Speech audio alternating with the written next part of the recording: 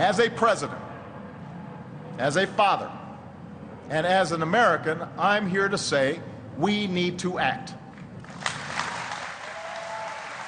President Obama last week saying carbon pollution limits need to be set on power plants in order to curb climate change.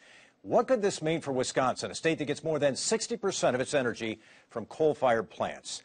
We're joined now by Gale Klappa, the CEO of We Energies. Mr. Klappa, good to have you on the program. Good to be with you, Mike. Well, uh, Governor Walker and uh, Governor Jindal of Louisiana sent a letter to President Obama last week saying that they have some concerns about this climate change mitigation uh, efforts.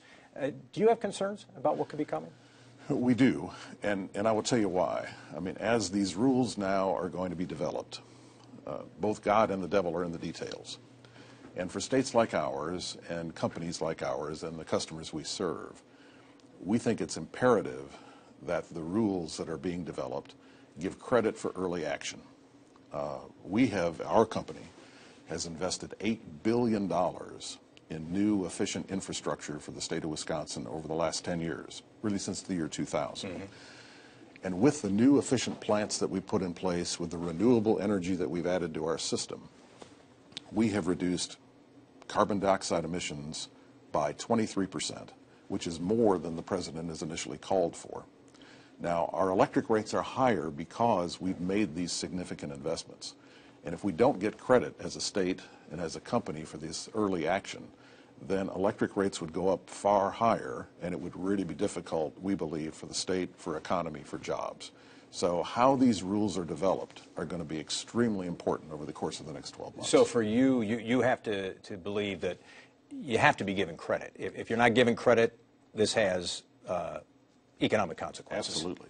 Economic consequences in, in terms of higher prices that we would have to pass along to customers. And we, as I say, we've already made the reductions uh, because of the new efficient system that we have in place to serve customers. So we will make the case, uh, as I know uh, many of the governors will and a number of the congressmen and, and senators, that this rule has to be fair and has to take into account what's already been accomplished. Uh, do, do you agree with the, the, um, the comments of some who've said this is a war on coal? Do you think that's, uh, that rhetoric is appropriate for this discussion? In some ways, yes, and I will tell you why. Uh, the Environmental Protection Agency has already proposed a rule for new power plants, ones that are not yet built. And what they have said is that unless you can meet certain emission standards that only burning natural gas could meet in a new, in a new power plant, then you can't build the plant. So in essence, the EPA is already proposing that for any new power plant to be built anywhere in the United States, you could not use coal.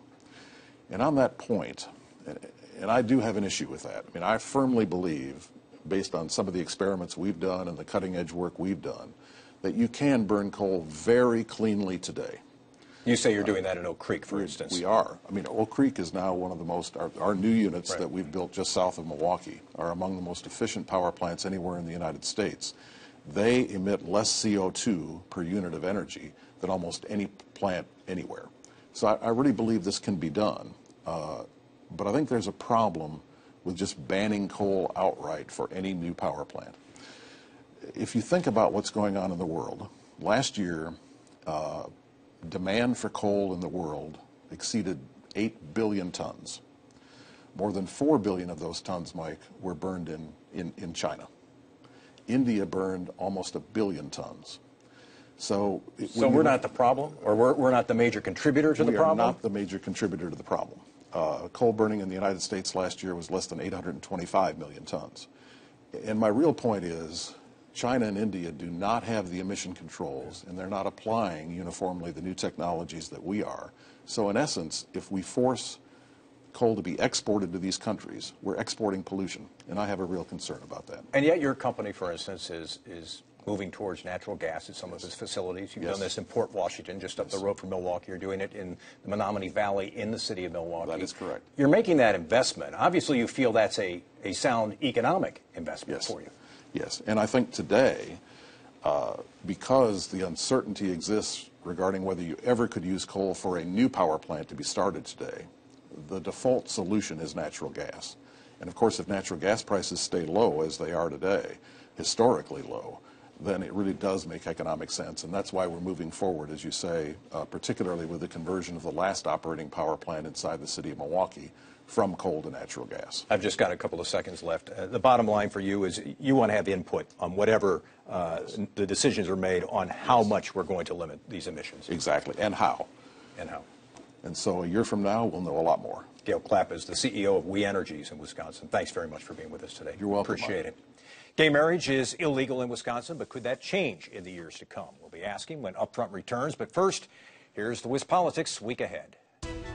State School Superintendent Tony Evers takes his second oath of office Monday in Madison.